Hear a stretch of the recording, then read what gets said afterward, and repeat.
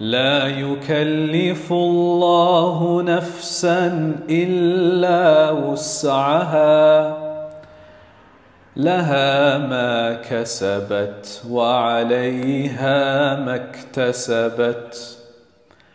ربنا لا تؤاخذنا إن نسينا أو أخطأنا. ربنا ولا تحمل علينا إصرا كما حملته على الذين كما حملته على الذين من قبلنا. ربنا ولا تحملنا ما لا طاقة لنا به.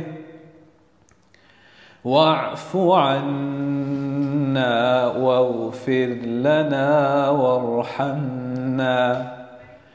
وارحمنا